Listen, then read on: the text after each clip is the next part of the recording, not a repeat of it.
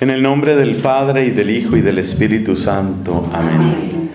Dios te salve María, llena eres de gracia, el Señor es contigo. Bendita tú eres entre todas las mujeres, bendito es el fruto de tu vientre Jesús. Santa María, Madre de Dios, ruega por nosotros pecadores, ahora y en la hora de nuestra muerte. Amén. En el nombre del Padre y del Hijo y del Espíritu Santo. Amén.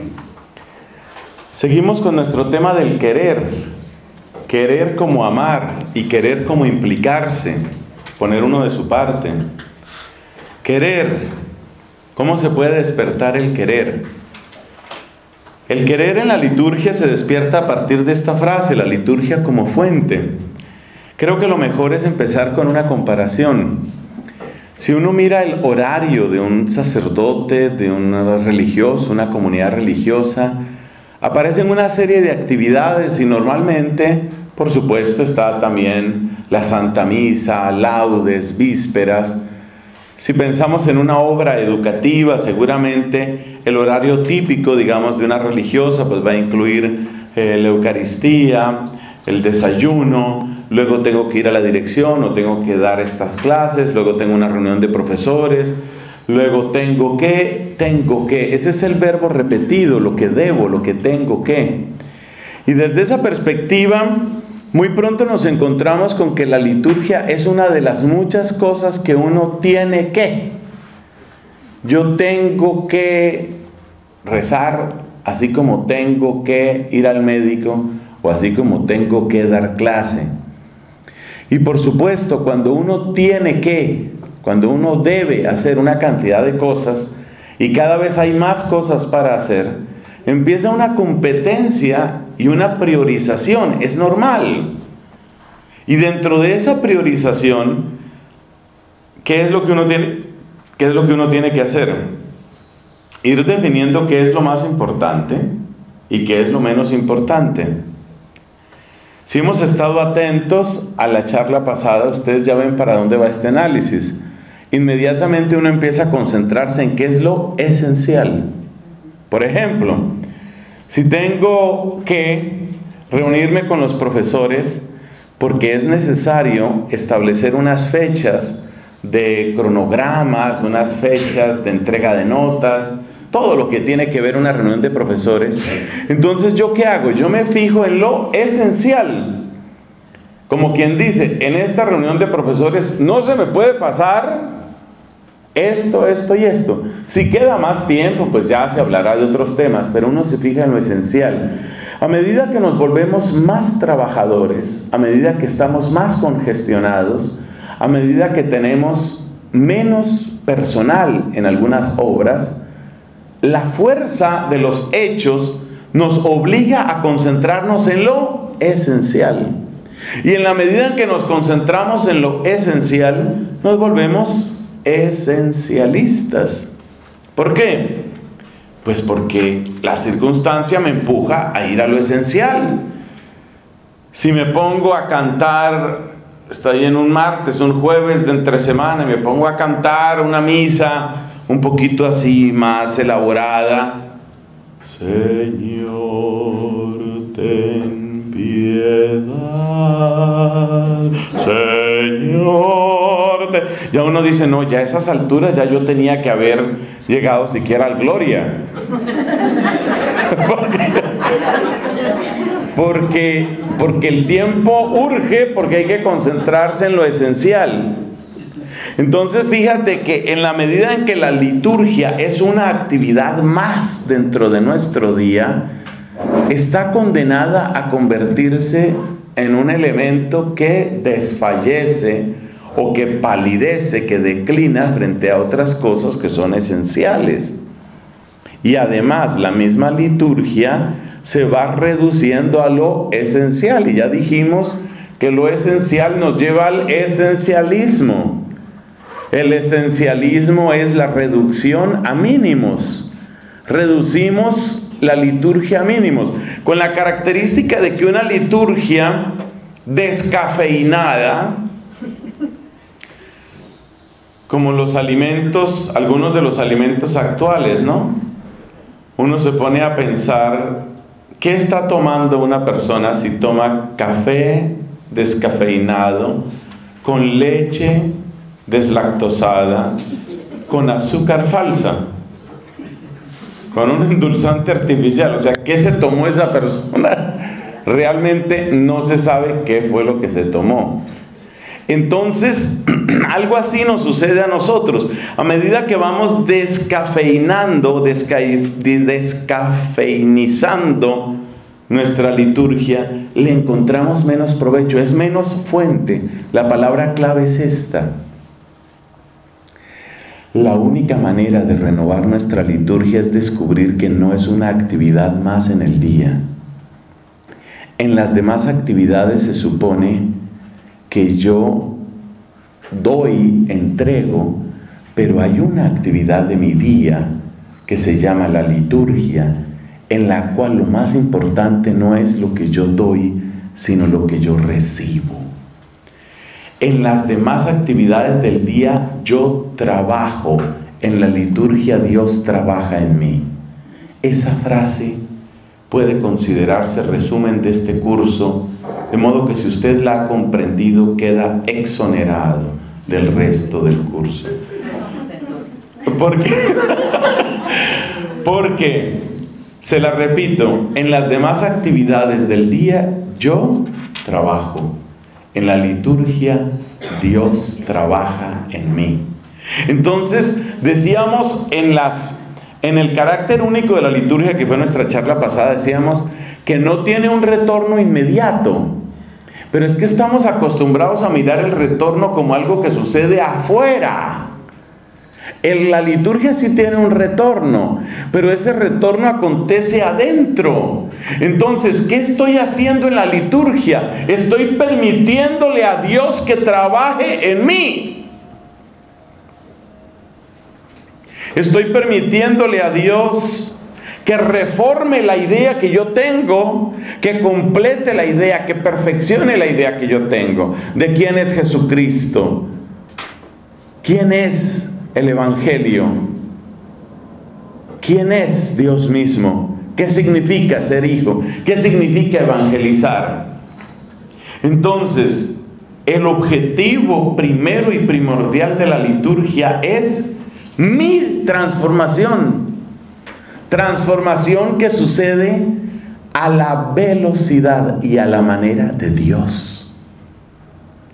Eso significa que Quizás durante mucho tiempo parece que no acontece nada.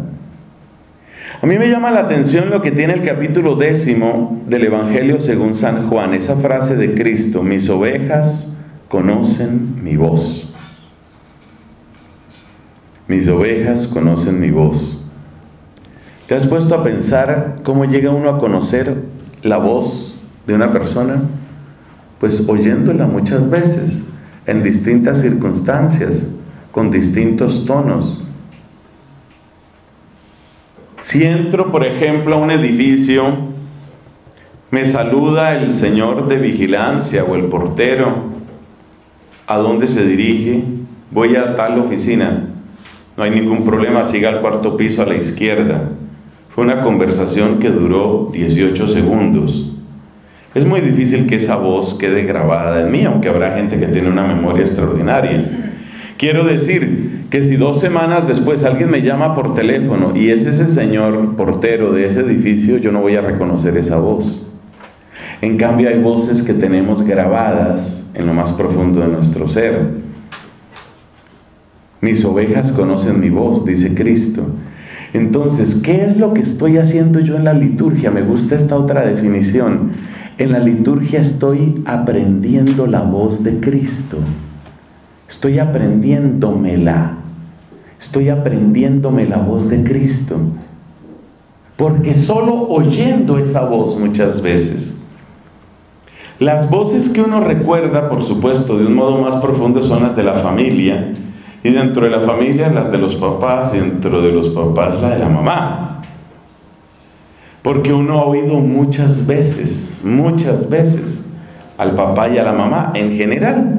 Algunos han perdido o hemos perdido los papás en tales o cuales circunstancias, pero en general esas voces que nos han acompañado desde la infancia. Entonces la liturgia es un ejercicio de modulación de mi vida al ritmo, a la armonía de la voz de Dios. Puedes mirar también la liturgia como un ejercicio de afinación. Este querido país que tiene tanta riqueza musical me sirve perfectamente de ejemplo. Imagínate un cantante que sale al escenario con una guitarra absolutamente destemplada. Cuanto más canta, más daño hace. Entonces sale con su primera canción un desastre porque esa guitarra nada va con nada se da cuenta que el público está descontento, que la gente empieza a hablar, a arrugar la frente y dice, no se vayan, no se vayan, que les tengo otra canción. No, si lo que no queremos es otra canción suya, Señor. La guitarra está trágicamente desafinada. Entonces, un religioso sin oración, una religiosa sin oración es una guitarra desafinada y cuanto más trabaja, más aporrea la pobre guitarra, porque no está afinada. Entonces, ¿qué es la liturgia? La liturgia es la afinación. Qué deleite escuchar a una persona afinada. Ahí es donde la gente dice, cántese otra nomás, porque está afinada. Entonces la, la liturgia es el momento de la afinación, pero esto es todavía mejor de lo que suena. La liturgia es la afinación no solamente de una persona, sino de una comunidad. La liturgia es la afinación de una comunidad. No hace mucho estábamos recordando en la orden dominicana el famoso sermón de Adviento de nuestro querido padre Antón de Montesinos. Estos no son hombres. Cuando predicó Antonio de Montesinos en Adviento, primer domingo de Adviento de aquel año, como 1511, una cosa así, predica Antonio de Montesinos, la gente en ese momento, los católicos que estaban en la isla, hoy la isla de Santo Domingo, que ellos llamaban la española. Los católicos, en su gran mayoría españoles, pues le cayeron allá al prior. El prior era Pedro de Córdoba. Mire las barbaridades que está diciendo este señor, que estamos para condenarnos en el infierno y que, y que si los indígenas no son hombres y una cantidad de cosas. Tiene que corregir a sus frailes. ¿Cómo se le ocurre permitir ese sermón? La respuesta de Pedro de Córdoba es, es que no es el sermón de él, es el de la comunidad. Eso es lo que da la liturgia. La liturgia hace que poco a poco cada uno de nosotros entre a ser en verdad como una cuerda dentro de esa lira. Entonces la comunidad está dando un mensaje. Porque hay comunidades donde, por ejemplo, hay seis o siete frailes y hay seis o siete evangelios, seis o siete estilos pastorales. Yo he vivido en algunos conventos de esos que prestan servicio de capellanía, por ejemplo, algunas religiosas y me acuerdo la primera vez que fui a prestar ese servicio, me recibe la hermana y me dice, ¿usted es de los que se lava las manos o no se lava las manos? Yo dije, me, notó lo puerco, ¿qué sería? ¿O será para el desayuno? No, se refería a la misa. El momento ese donde ritualmente el sacerdote se lava las manos. Entonces le dije, pero eso está claro, es decir, eso no es opcional, eso está claro en el misal. Eso, eso, no, no, está puesto ahí como opcional, pero hay una gran cantidad de sacerdotes que han decidido no hacerlo. Y sacerdotes de mi comunidad estaban en esas. Entonces, la hermanita sacristana ya se había acostumbrado a hacer como unas 8 o 10 preguntas, ¿no? Para ver de qué rito es este padre. Entonces, este es de los que lava manos, este no lava las manos, este no quiere que se cante nada, este quiere que se cante todo. Este abomina de las guitarras, no le ocurra una guitarra en la misa del padre fulano. El otro mantenga quieto y callado ese órgano. Todas esas o muchas de esas son opciones posibles. Yo puedo entender que algún sacerdote, por ejemplo, tenga un gusto de una manera, un gusto de otra. Pero de verdad que esa esa manera de obrar, y así nos percibía la gente, esa manera de obrar que estaba indicando que no hay unidad en la comunidad, ni siquiera en muchas de esas cosas, ni siquiera en cosas tan claras como esas. Y luego la predicación lo mismo.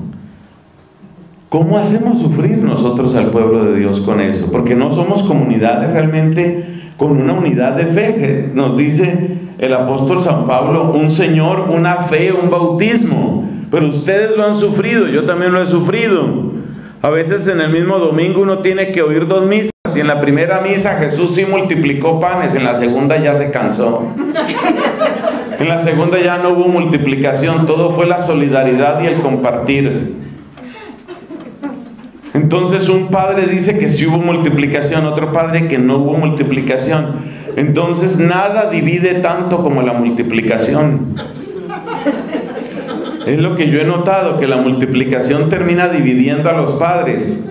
Porque unos dicen que sí multiplicó, que no multiplicó, sí hay demonio, no hay demonio. Todos son enfermedades mentales.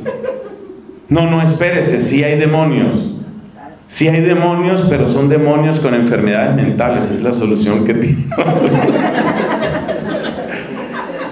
Los de las enfermedades mentales son los demonios mismos. Esas faltas de unanimidad, incluso en cosas tan fundamentales, la gente las percibe y son una gran debilidad de nuestra obra apostólica.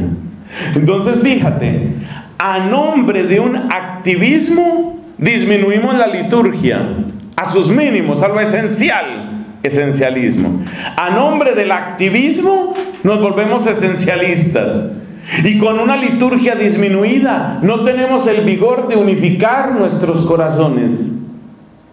Entonces somos arpas destempladas, cítaras destempladas, guitarras destempladas.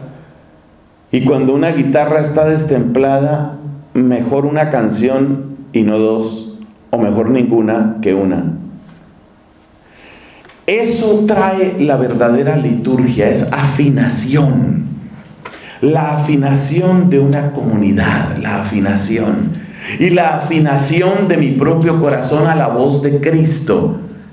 ¿De dónde vienes? Estábamos rezando laudes. ¿Qué hacen en laudes? Aprendemos la voz de Cristo. Hasta que mi oración hasta que mi oración responda a la palabra. Hace años, un querido padre de mi comunidad, de mi provincia, me hacía ver la gran diferencia que hay entre el lema de San Benito de Nurcia, ustedes saben que los benedictinos son maestros de liturgia de todos los siglos, pero eso es de su fundador, desde San Benito. La gran diferencia que hay entre el lema de San Benito y lo que suele utilizarse como criterio hoy en la oración. Me explico. El lema de San Benito es este. Bueno, ese es el lema de la orden, pero en cuanto a la liturgia, el lema de San Benito es que el corazón sienta lo que dice la boca. Fíjense en qué orden lo dice San Benito. Que el corazón sienta lo que dice la boca. Hoy estamos casi en el extremo opuesto. En muchas expresiones de oración casi estamos en el extremo opuesto. Y es solamente que la boca diga lo que siente el corazón. En realidad ambas cosas son importantes. Porque también es importante la oración espontánea en ciertos momentos. El compartir de oración es importante, no le vamos a quitar su valor. Pero para la vida de la iglesia es muchísimo más importante lo de San Benito que la otra frase. Tomemos esas dos frases, detengámonos en ellas por favor por unos minutos y descubramos la riqueza que tienen. Primera frase, la de San Benito que el corazón sienta lo que dice la boca. Hay quien manda la boca, lo que dice la boca. Y el corazón tiene que educarse hasta sentir lo que dice la boca. Eso es, ese es el principio litúrgico. ¿Eso qué quiere decir? ¿Qué dice la boca? ¿Qué es lo que la boca pronuncia en la liturgia? Pues pronuncia los himnos, las lecturas, los salmos, sobre todo eso, los salmos, los cánticos. ¿Qué quiere decir la frase de San Benito? Que a medida que mi boca repite himnos, antífonas, salmos, lecturas, cánticos, mi corazón va aprendiendo a sentir. ¿Eso qué quiere decir? Va aprendiendo a alegrarse con lo que le da la gloria a Dios a entristecerse con lo que ofende su nombre, a preocuparse donde está en peligro su reino, a servir, a entregarse, a ofrecerse allí donde es necesario. Entonces, otra manera de leer la liturgia como fuente es que la liturgia es una especie de continua, de educación continua del corazón. ¿Qué estás haciendo en la liturgia? Educando mi corazón. ¿A qué te refieres? Estoy educando mi corazón en la alegría. ¿Ah? Sí. Estoy educando a mi corazón. ¿Qué es alegrarse? ¿Qué significa alegrarse? Eso se lo estoy enseñando a mi corazón. ¿Qué es alegrarse? Qué bello. Y uno tiene que aprender a alegrarse y tiene que aprender a entristecerse. Y tiene que aprender a preocuparse. Y tiene que aprender a abandonarse. Tiene que aprender a confiar. Tiene que aprender a reír. Todo hay que aprenderlo. Entonces, el gran principio benedictino, el gran principio de San Benito es que la gran escuela de mi corazón es la liturgia. Porque la liturgia es la que me va enseñando de qué debo alegrarme, de qué debo entristecerme, de qué debo preocuparme. ¿Cómo logra eso la liturgia? Bueno, a través de un largo ejercicio que empieza con la lectura, que pasa por la memorización y que llega al profundo meditar en el corazón. Entonces usted toma, por ejemplo, un salmo. Yo hoy estoy con aquel salmo, Pastor de Israel, escucha. Tú que guías a José como un rebaño, tú que te sientas sobre el querubín y resplandece ante Efraín, Benjamín y Manasés. Bueno, ¿qué pasa cuando yo tomo un salmo de esos y lo repito hasta memorizarlo? ¿Qué pasa dentro de mí? Pues pasa desde la perspectiva del Evangelio de Juan que me voy acostumbrando a la voz de Cristo que según San Agustín resuena en los salmos. Según San Agustín, la voz de Cristo resuena en los salmos como súplica al Padre y resuena en los salmos la voz que le decimos a Cristo como Señor y cabeza nuestro. Entonces estoy educando mi corazón.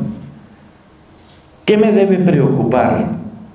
Me debe preocupar, ven a visitar tu viña, la cepa que tu diestra plantó y que tú hiciste vigorosa. La han talado y le han prendido fuego. Eso es lo que me debe preocupar.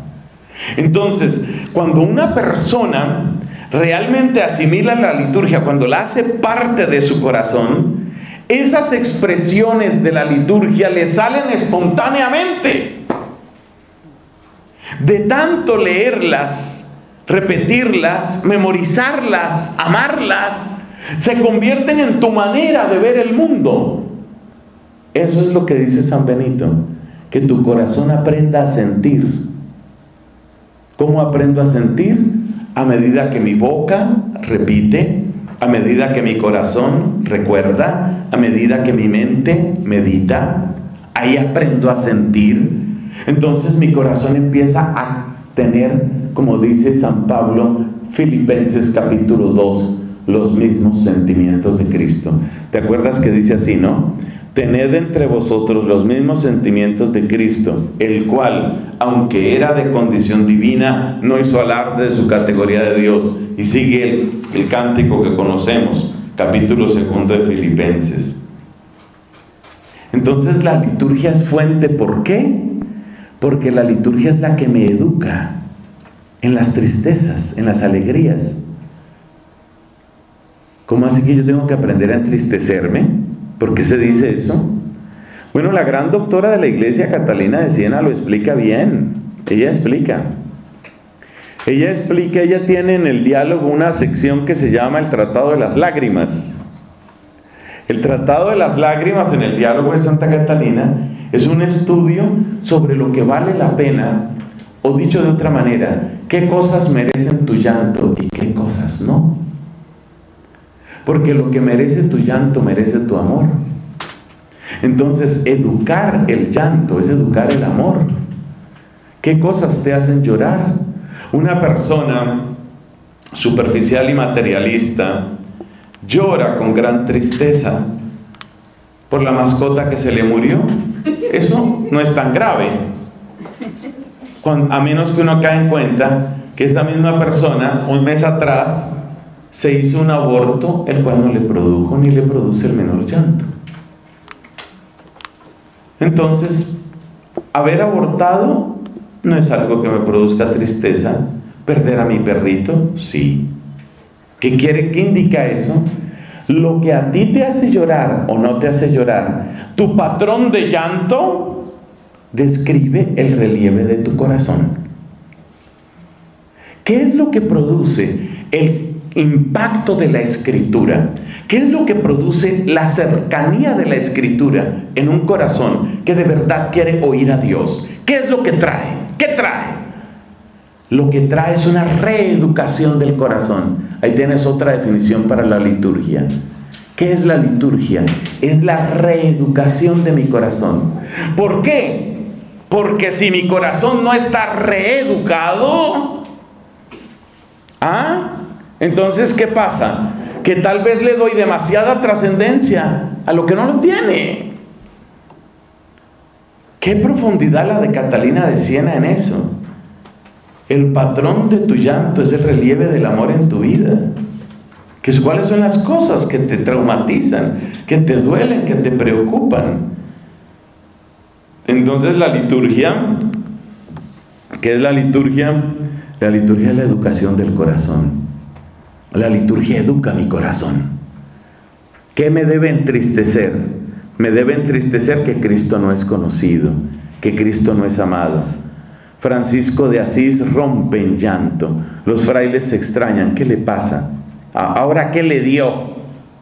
¿Qué le pasa? El llanto de Francisco es un llanto santo.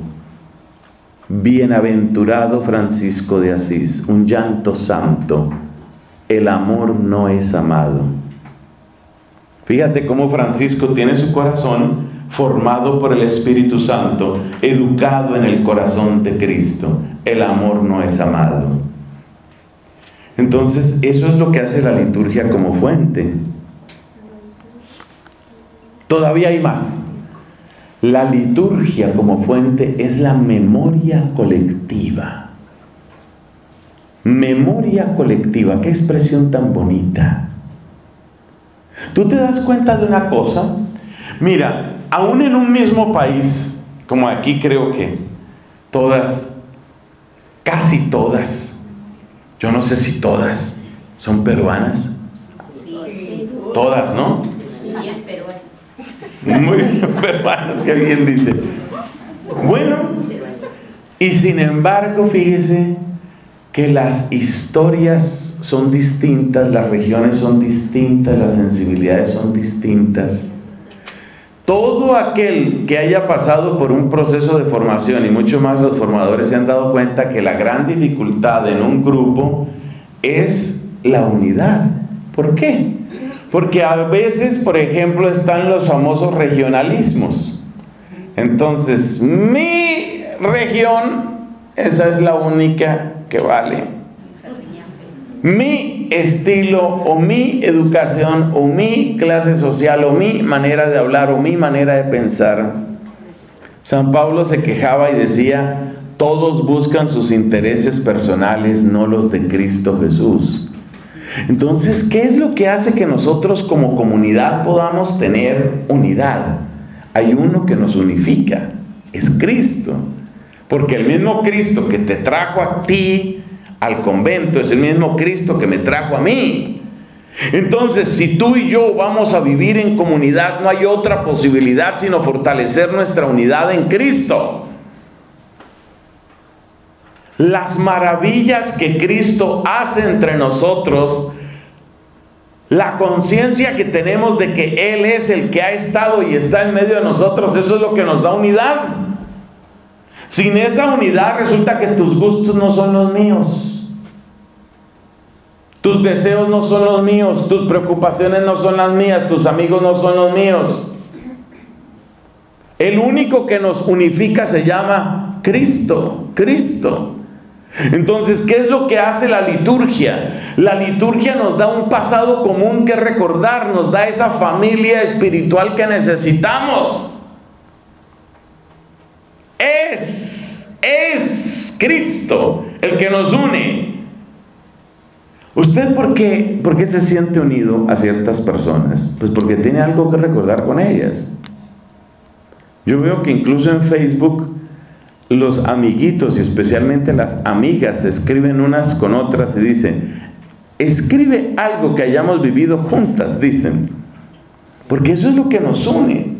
La memoria colectiva, las cosas que hemos pasado juntos.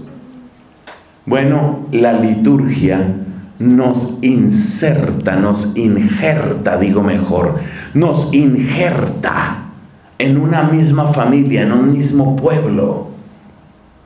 Entonces, a medida que nos vamos reconociendo miembros de un mismo pueblo, partícipes de una misma historia, herederos de unas mismas promesas, nos sentimos unificados. Esa es nuestra memoria colectiva. No solamente con las personas que viven ahora. La liturgia es lazo que une generaciones, culturas diferentes. Si yo me pongo a pensar las diferencias culturales, ya se notan entre unas regiones y otras de un mismo país. Pero ponte a pensar con gente de otros países, de otros idiomas, de otros siglos. Qué cosa tan hermosa pertenecer uno a la Santa Iglesia Católica.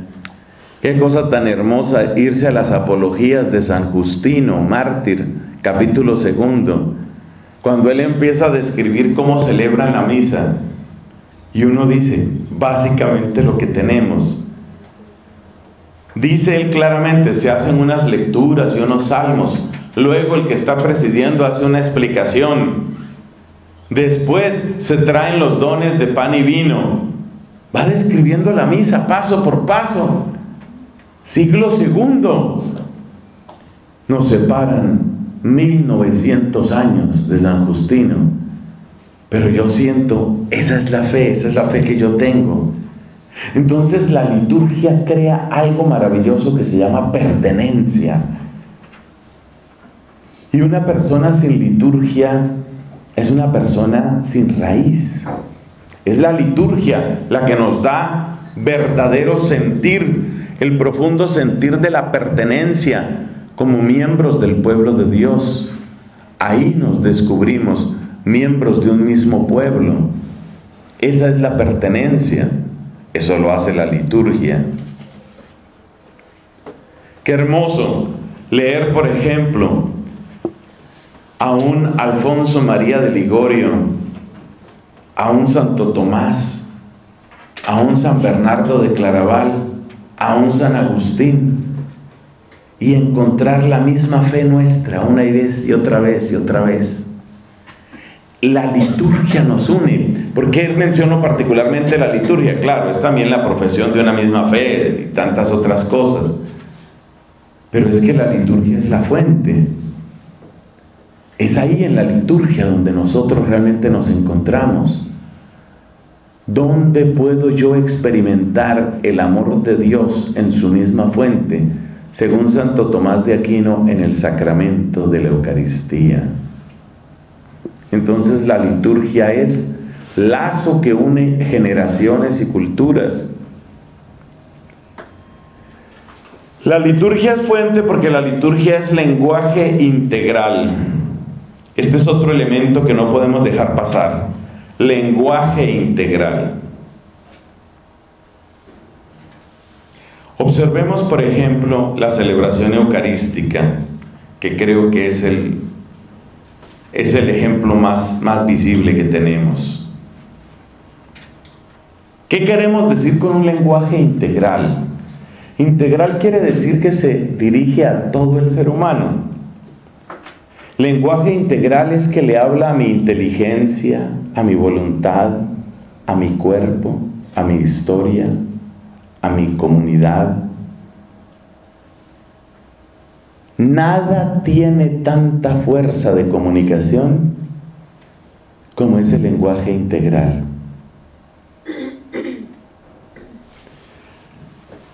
Miremos la misa,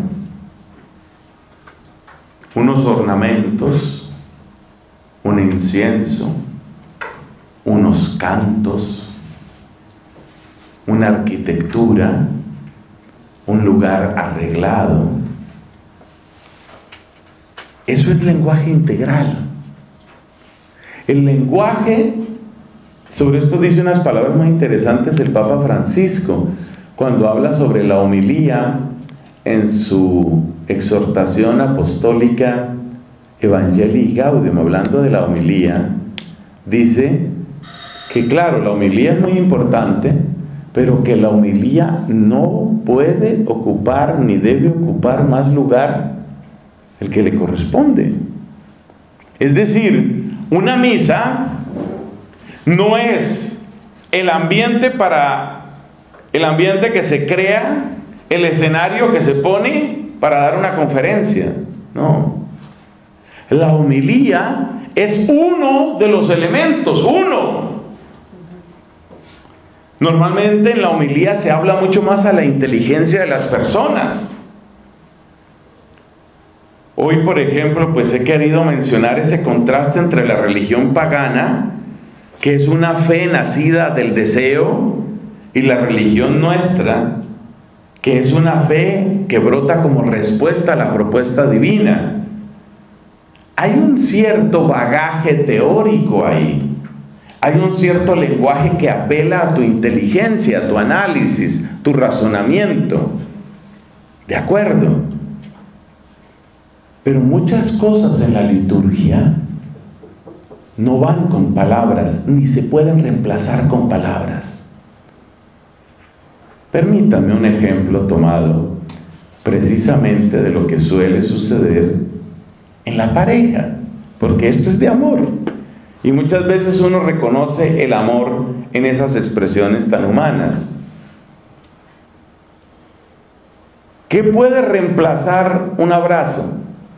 Pues nada. Ahora, si una persona no me puede abrazar porque está lejos, y me dice por el teléfono, te mando un abrazo, bueno, eso significa algo, pero eso no reemplaza el abrazo. Tiene un significado bonito, pero no lo reemplaza. Todo el lenguaje corporal, especialmente en la familia y en la pareja, es un lenguaje irreemplazable, porque es un lenguaje que tiene que ver con tonos de voz, que tiene que ver incluso con el humor de la persona, que tiene que ver con el estilo y la risa de la persona, que tiene que ver con tantas cosas que son lenguaje integral. Me acuerdo una muchacha ya mayor que recordaba ella el fallecimiento de su papá y el papá le hacía mucha falta. Entre otras cosas, porque el papá, un hombre cariñoso con sus hijos y especialmente con sus hijas, le encantaba recostar sobre su pecho a la niñita consentida, le acariciaba su cabeza, ella llegaba con sus trenzas muy bien hechas y la felicidad del papá era deshacerle las trenzas. Ese lenguaje, lenguaje de cariño, eso es irreemplazable. Y a ella le hacía falta eso, eso.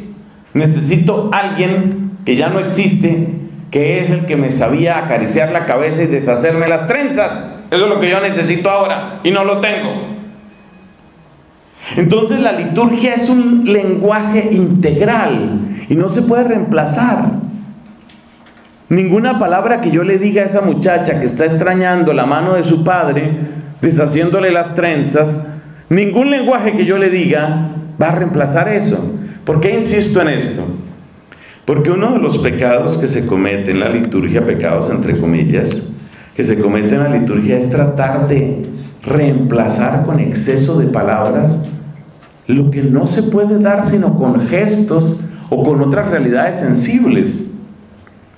Hoy, por ejemplo, hubiéramos querido tener en la misa el incienso, ¿no? Finalmente nos falló el incienso. Si yo me paro ahí delante de la asamblea, porque hoy me tocó presidir a mí, me paro delante de la asamblea y digo, imaginemos este lugar lleno de incienso, cierren sus ojos, piensen en el incienso. Eso no reemplaza ese efecto único, visual, olfativo, el olfato también entra en la liturgia. El efecto visual, olfativo que tiene el incienso.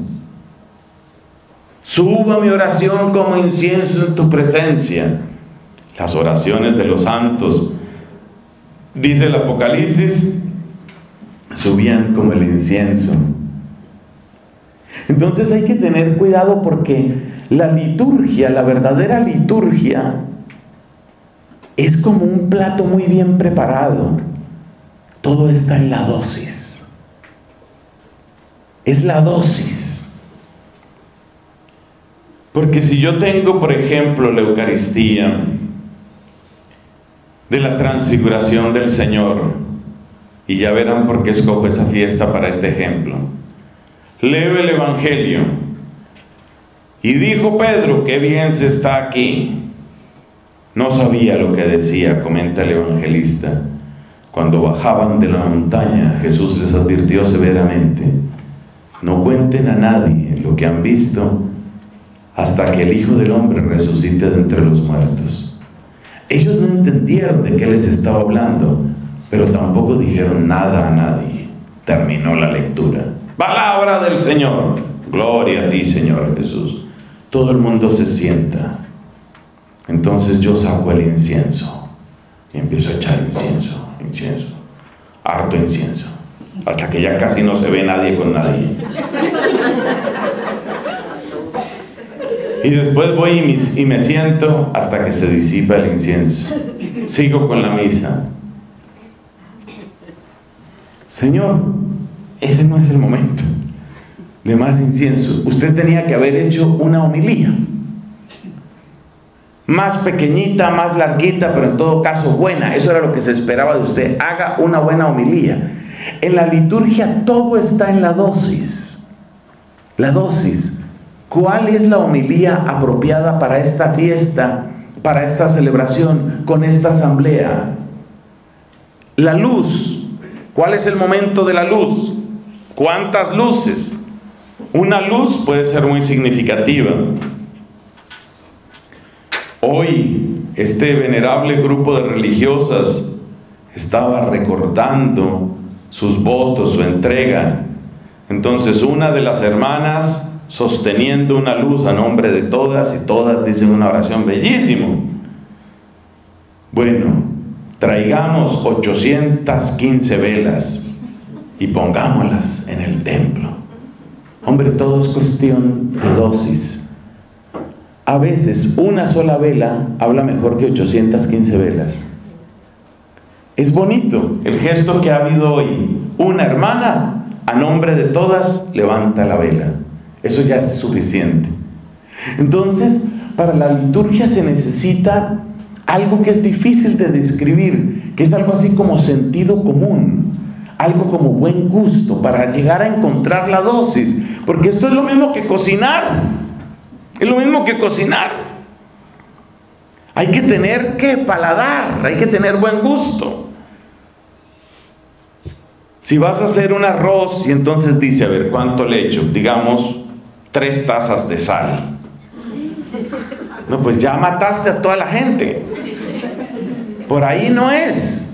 Ah, entonces sin sal, tampoco es. Se necesita sentido común y se necesita buen gusto. Y le preguntaban a un chef italiano, ¿y cómo se logra el buen gusto? Y respondió, habiendo comido bien en buenos lugares durante mucho tiempo. Entonces, la buena liturgia vivida y celebrada se convierte en fuente de donde viene otra buena liturgia. Es decir, la buena liturgia nos da buen gusto y el buen gusto nos da buena liturgia. Eso es lo que se llama un círculo virtuoso. Hay círculos viciosos y hay círculos virtuosos. El círculo virtuoso es la buena liturgia da buen gusto y el buen gusto trae buena liturgia. Esta es la importancia de que haya muy, muy buena liturgia, especialmente en los primeros años de formación. Lamentando mucho que por las razones que sean, no me tienen que decir nada, no tenemos ahora aquí ni apostulantes ni novicias. No tienen que darme ninguna explicación. Pero fíjese que esto es muy importante. La buena liturgia trae buen gusto y el buen gusto trae buena liturgia. Es un círculo virtuoso. Eso hace la liturgia en nosotros. La liturgia se convierte en lazo que une generaciones y se convierte en un lenguaje integral. En ese sentido, la liturgia abarca todo nuestro ser. Y aquellos santos que han vivido más intensamente el misterio de Cristo, también lo expresan de modo más integral. En nuestra tradición dominicana, ¿cómo vamos a olvidar los nueve modos de orar de Santo Domingo? Todas esas postraciones, gemidos, posición en cruz, de pie, leyendo, arrodillado, manos al cielo. ¿Qué es todo ese gimnasio? No es un gimnasio. No es un gimnasio. Todo eso que es es lo que le sucede a un corazón a medida que el misterio de Cristo va llegando, va llegando, va llegando, va tomando posesión de nosotros. Porque es que el lenguaje de Dios quiere llenar todo tu ser. Lo que sucede es que esto no quita lo que antes hemos dicho del buen gusto y de la buena medida. Por eso, yo le veo un lugar muy importante a la solemnidad dentro de la liturgia. Pero yo no tengo problema con algunas celebraciones carismáticas, llenas de color y de vida y de música. No le veo ningún problema.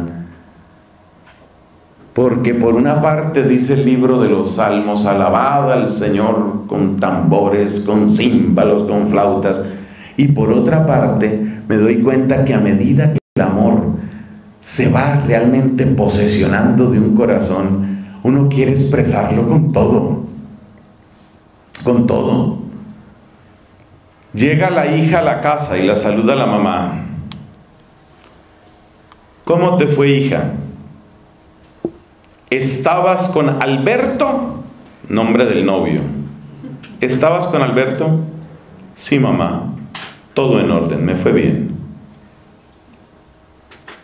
Yo creo que la mamá se preocupa, dice, esa relación va como mal. ¿Qué es lo que se espera de una muchacha enamorada en esas circunstancias? ¿Cómo te fue?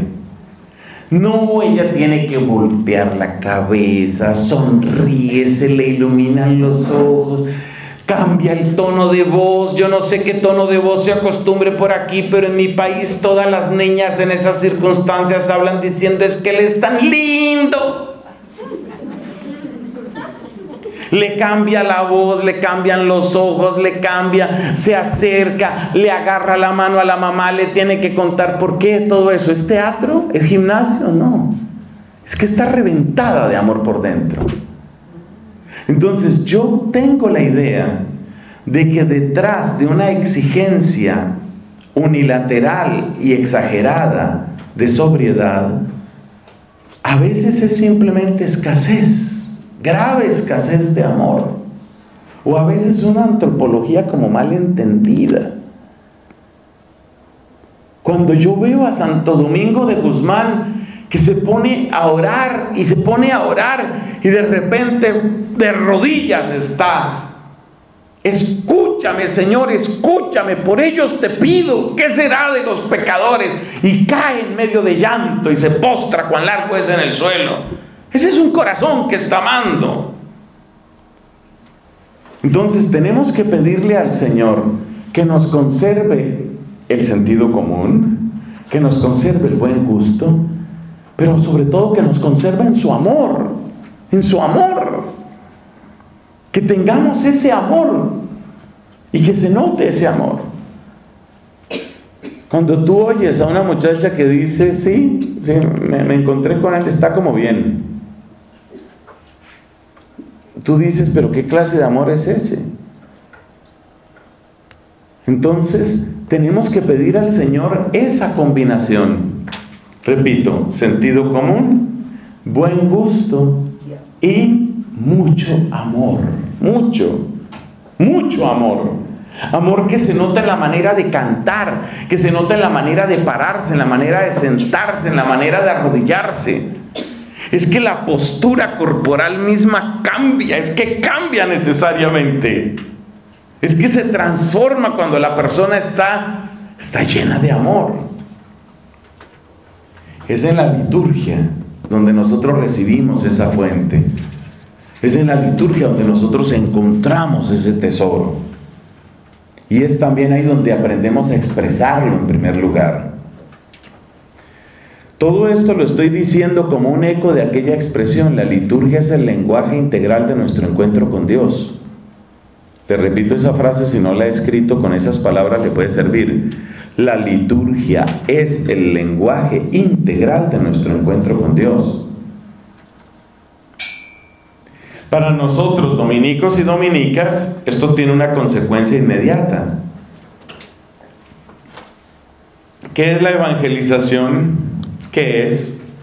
Contarle a la gente del amor, del amor que a mí me ha cambiado, del amor que a mí me ha renovado. ¿Tú crees que una persona que celebra su liturgia desde el esencialismo. Dios mío, ven mi auxilio. Señor, socorrerme. Gloria al Padre, etc.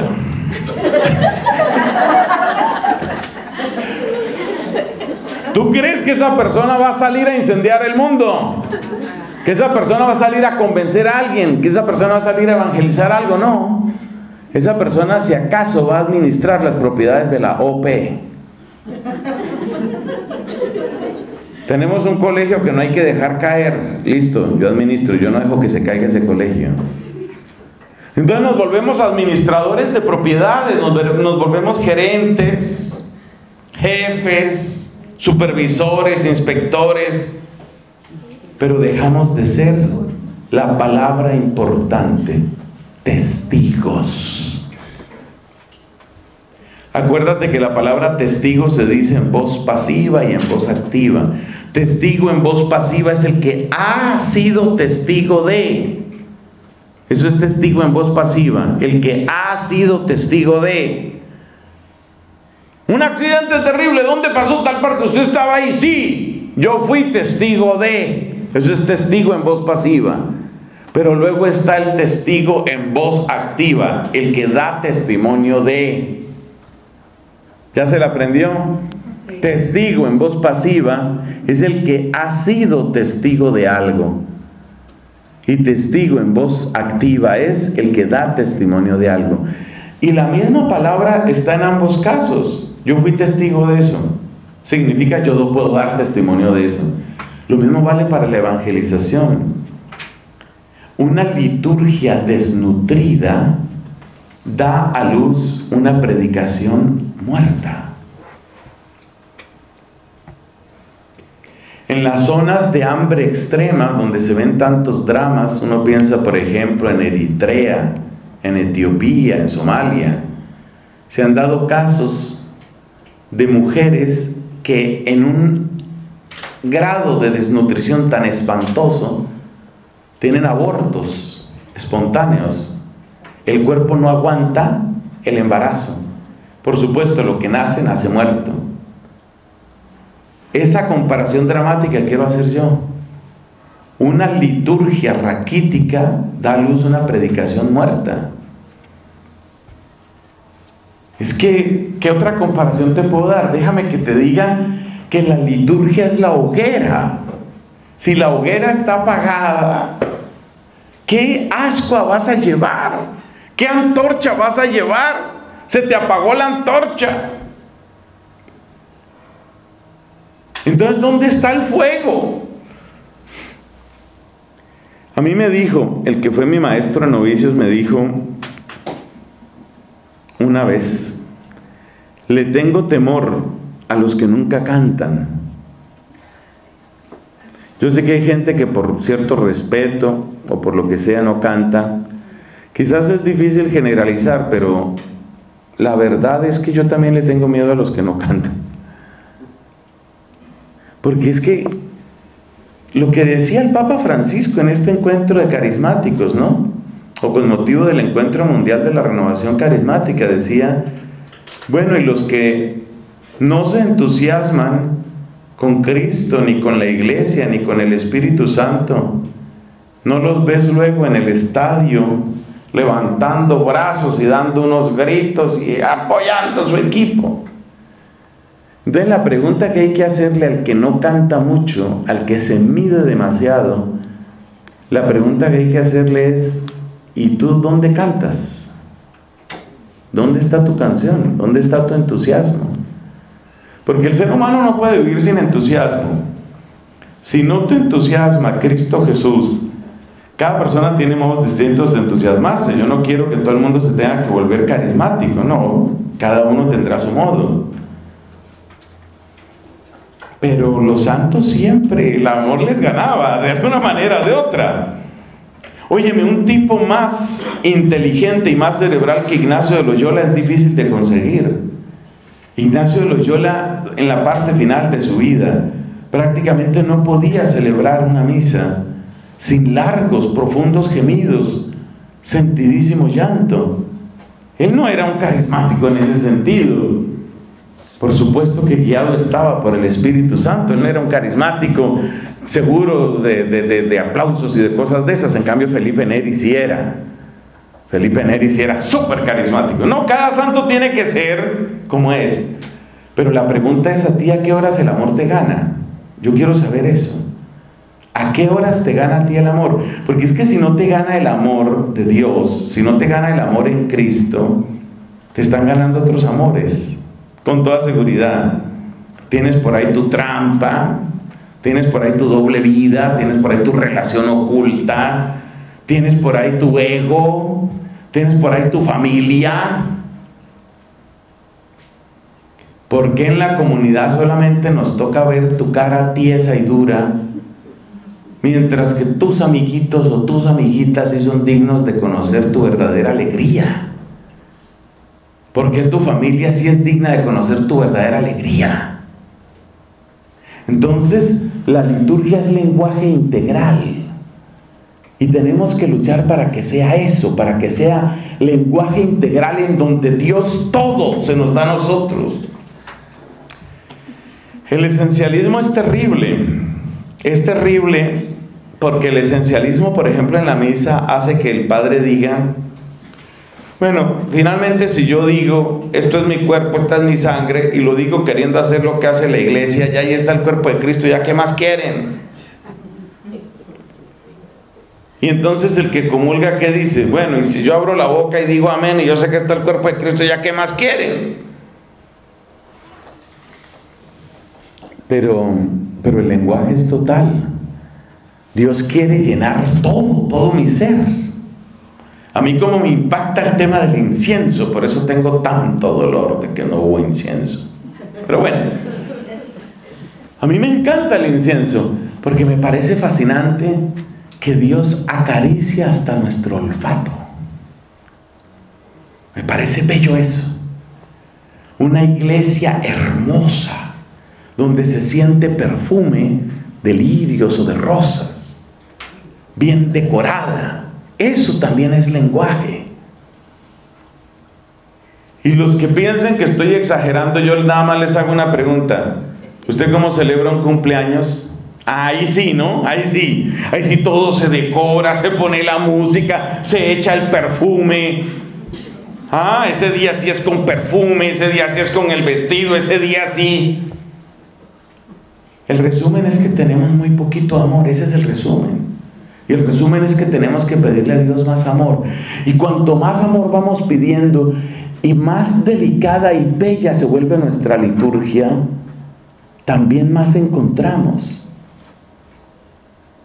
Le decía Dios a Santa Catalina, refiriéndose a la Eucaristía, pero eso vale para toda la liturgia. Decía, la Eucaristía es como, como una llama preciosa y cada uno se acerca a esa llama, pero unos llevan una astilla y la encienden. Y otros llevan una vela y otros llevan un cirio. Cada uno llega con algo y el que llega mejor dispuesto más se lleva. Esa es la liturgia. Entonces la pregunta que tienes que hacerte, no para que la respondas ni tampoco para los grupos, la pregunta es, ¿con qué llego yo a la liturgia? ¿Llego con una astillita? ¿Llego con una vela? ¿Llego con un cirio? ¿Con qué llego yo? Y es el mismo fuego, el mismo, pero a unos les da muchísimo y a otros pareciera que les da muy poco. Unas anotaciones sobre esto de la liturgia y el jubileo. Ya hemos recordado a Santo Domingo de Guzmán. Decía el Papa Francisco no hace mucho a los papás, pierdan tiempo con sus hijos. Me gusta esa expresión, es, es típica del realismo de este Papa. Pierdan tiempo. Esa es una pregunta excelente para hacerse un examen de conciencia personal y comunitario. ¿A qué le pierdo tiempo yo? Por supuesto, ese perder hay que ponerlo así muy entre comillas, ¿no? Vino un amigo con el que no me veía hace mucho tiempo. Tengo cantidad de cosas que hacer. Llegó un amigo. Duramos dos horas cenando. Y no era tanta la comida, es el deseo de conversar, de compartir, de preguntar, de saber y qué te pasó y en qué acabó esto y cómo va a ser y la risa y el recuerdo y los proyectos, dos horas hablando y yo con montañas de cosas que hacer. Pero llegó mi amigo, venga, siéntese hombre, cuente, a ver, pero cuente. Y el tiempo se me vuelve corto. ¿A qué le gasto yo tiempo?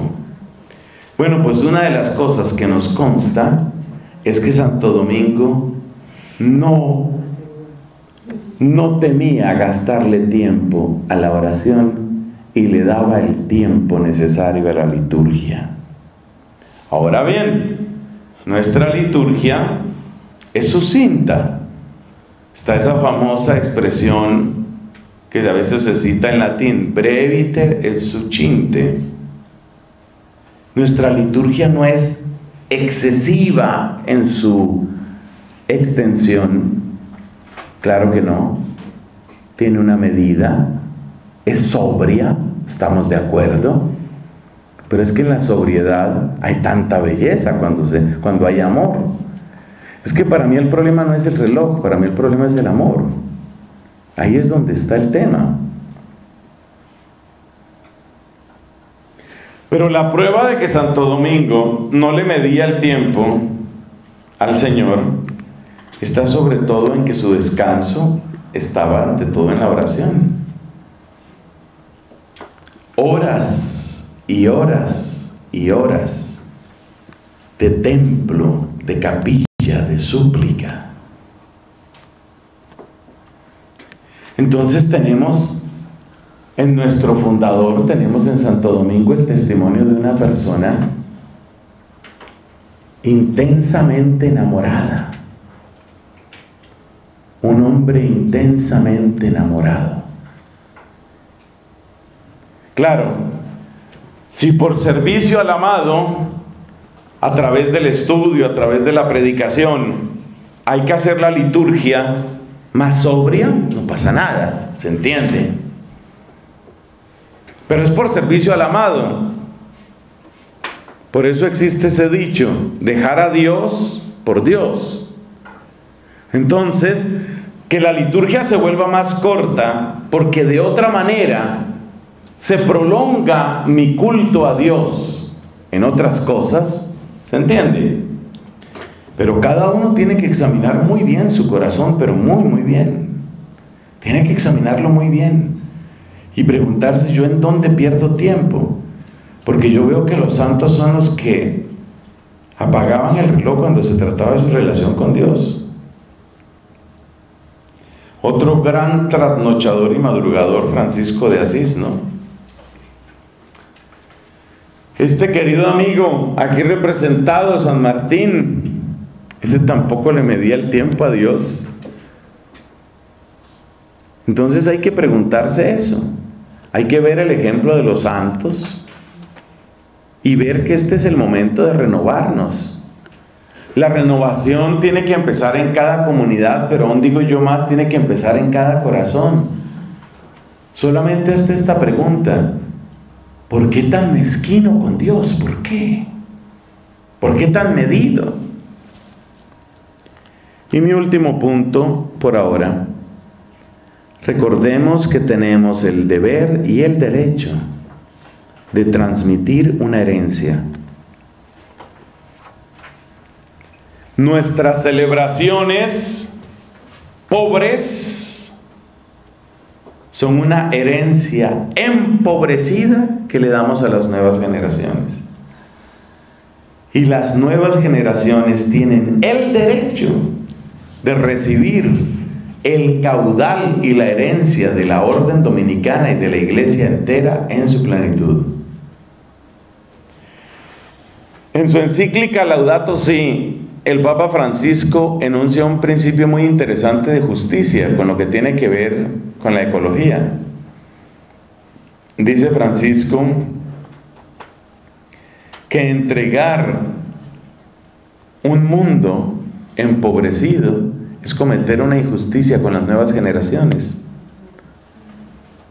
¿Cómo así que nosotros probablemente vamos a ser la última generación de la humanidad que conoció una especie muy bonita, el rinoceronte blanco?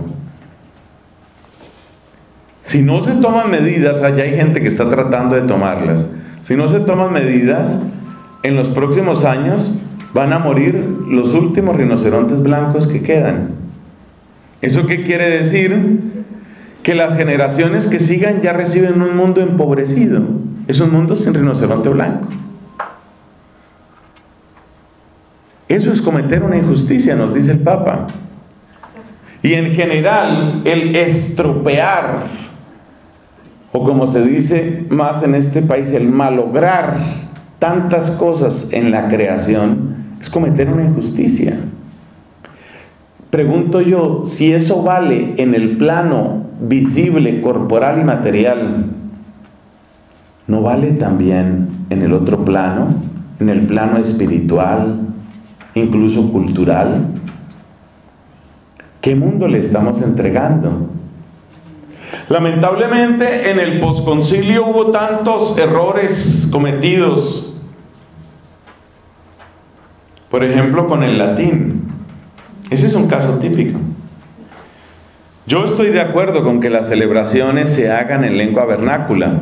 Para mí no hay duda sobre eso. Pero una cosa es celebrar en lengua vernácula y otra cosa es hacerle la guerra al latín.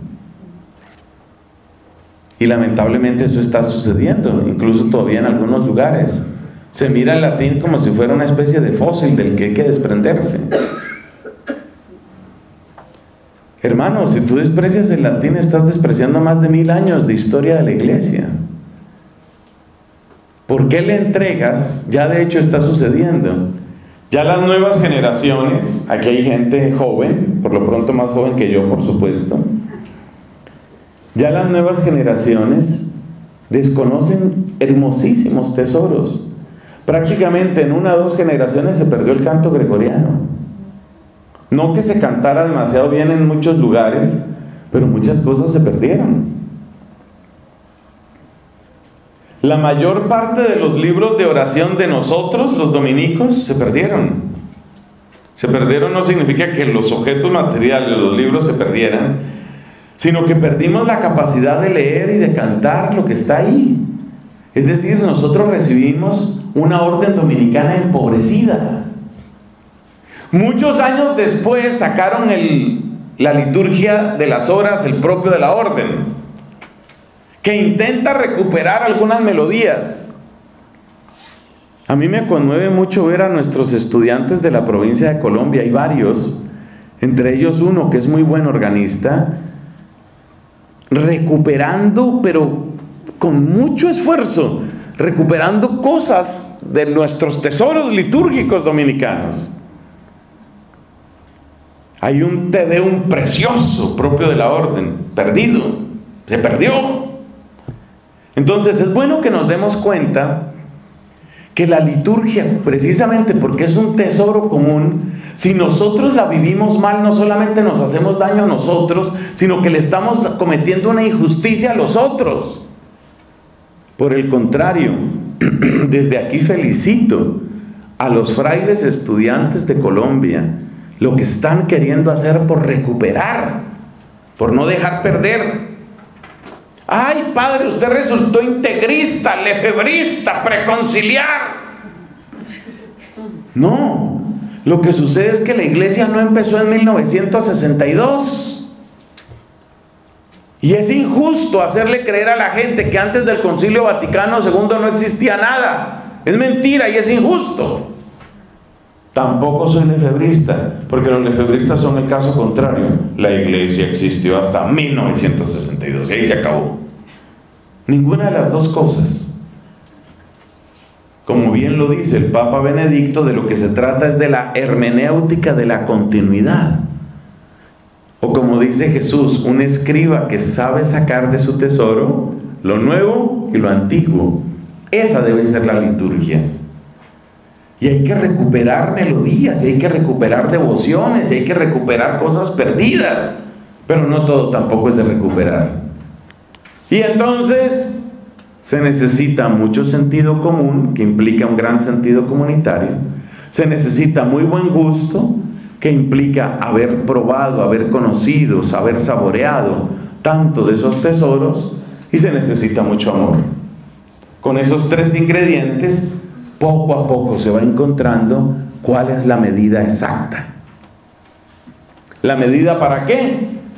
La medida para que esos tesoros, esos bienes, no mueran con nosotros. Bueno, estas eran las palabras que quería compartirles sobre ese verbo, querer. Aprender a querer nuestra liturgia. Y que este jubileo sea una ocasión preciosa para amar más mucho más. Algo que está en nuestra agenda, pero más que en nuestra agenda tiene que estar en nuestro corazón y en nuestro ser. Gloria al Padre, al Hijo y al Espíritu Santo.